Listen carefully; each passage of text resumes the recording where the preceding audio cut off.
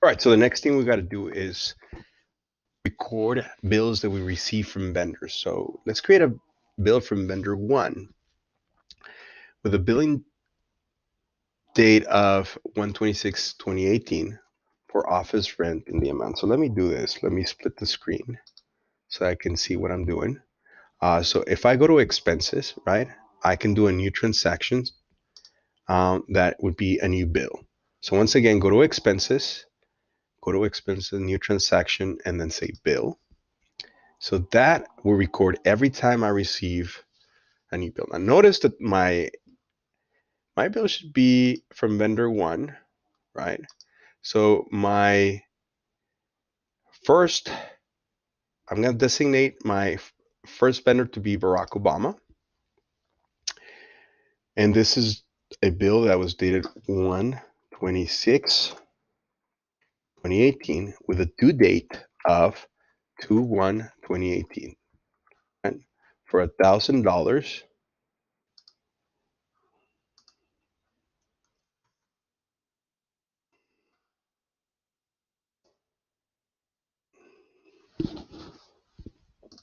for a thousand dollars and the category is rent or lease right?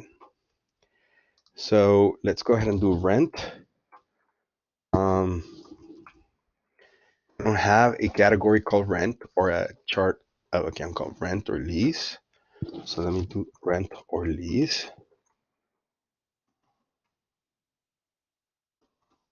And add it and it's going to ask me what type of account is this. This is an expense that is under rent or lease of buildings.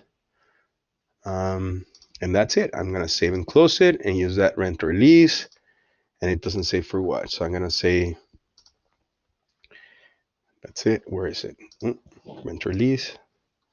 um, monthly rent what is the bill number the bill number is bill number 28 0126 V1. So make sure you put it right here on that bill number. There's no permit number. This is not billable to any customer. There's no tax associated with that. So I can just save and create a new bill. The second bill that I'm going to get is bill number 2018-0305, right? Um, and this is going from vendor number two. So I'm going to get the second vendor. In this case, is Donald Trump. Um, this has to be dated for 3 5 2018, right? 3 5 2018. And it's going to be due on April 4th, 2018. So that is due on April 4th, 2018. Very specific, right? For shipping costs, uh, a products in a purchase, right? And I also have to show item details. So notice that you have two categories. You have a category details and an item details. Category details are for general expense accounts or general accounts that you are not attaching to a particular inventory item.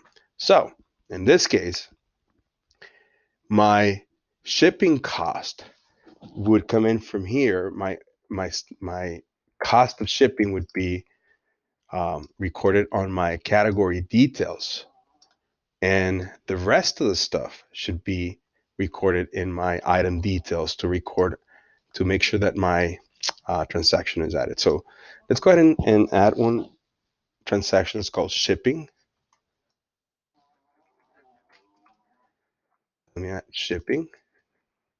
Um, that's an it's a cost of goods sold expense actually. So this is shipping and freight and delivery, right? Because we want to make sure that we associate the shipping of any inventoriable item with the inventoriable item cost in our cost of goods sold shipping. Um, I'm going to save and close it, and this is for the amount of $56. And then I'm going to say shipping of product, whatever my product was. So I'm going to say product products one in this case they were my uh, quickbooks quickbooks um, whatever your product was in my case i have quickbooks software and books. All right. And it's not billable to anybody in particular because we're going to sell those individually. And let me see how much I received. Well, I received 500 products of product one. And so my product one is going to be my software. Uh, and I received five of those, 500 of those. And I am going to use my product to, to be my QuickBooks book. And I'm also going to have 500 of those. All right. Whatever you decide your product is, just you want to make sure that you're following. I designated that. And I, when I get your assignment, I'm going to know which one is what uh, based on on whatever has the balance. And that's it. This is a bill that I received um, from vendor number two for 500 items of one, 500 items of the next. And this is how much I'm supposed to pay. It's quite a bit of money. Okay, so let me do another one, which is a bill from vendor three that's dated 5 5 2018, right? 5 5 2018.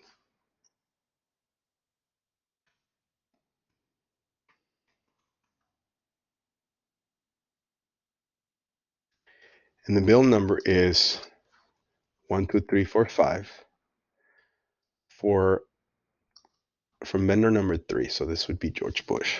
Um, I thought I had that one. Oh, well, I guess I didn't. So let me just keep it as George Bush. Um, category is for 500 products of product number three. So this would be my souvenirs. So category is not the right expense. I got to put this on my item details. So if you don't have this item details, you have to go back to your to your um, company settings to activate the inventory items. So under expenses, you have to activate track products and services. So in this case, that would be my souvenirs. And I'm going to do 500 at $10. And let me make sure that I have a due date, due 30 days later. So in this case, 30 days later would have been 6 for 2018, right? Make sure you have those dates, 5 5 2018. This is 5,000 because they're 500 times 10. Perfect. And that's it. I'm going to save and close. And I am done with require number 8.